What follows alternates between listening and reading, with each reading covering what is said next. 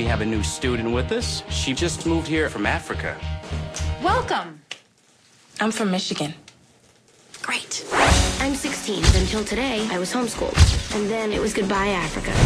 And hello, high school. Hi, I'm Cady. I'm Janice. This is Damien. Watch out, new meat coming through. This map shows the school's central nervous system, the cafeteria. You got your cool Asians, burnouts, jocks, the greatest people you will ever meet, and the worst. So you've never been to a real school before? Shut up. Shut up. I didn't say anything. Plastics. Who are the plastics? They're teen royalty. That's Karen Smith. She is one of the dumbest girls you will ever meet. I'm kind of psychic. Really? It's like I have ESPN or something. Gretchen Wieners. She has two Fendi purses and a silver Lexus. And evil takes a human form in Regina George. She knows everything about everyone. That's why her hair is so big. It's full of secrets. We want to invite you to have lunch with us. Regina seems sweet. Shopping.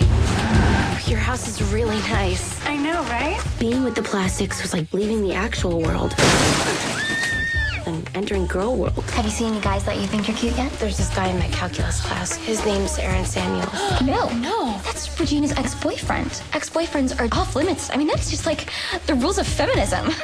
Gretchen told me that you like Aaron Samuels. I could talk to him for you if you want. Really? You would do that? You're so hot. Why would she do that? She's a life ruiner. I knew how this would be settled in the animal world. But this was girl world. All the fighting had to be sneaky.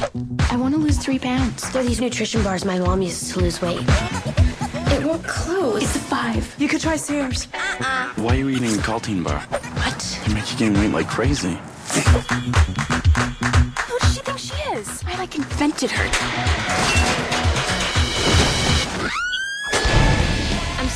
Laughed at you. I'm sorry I called you fat. I'm sorry that people are so jealous of me, but I can't help it that I'm popular.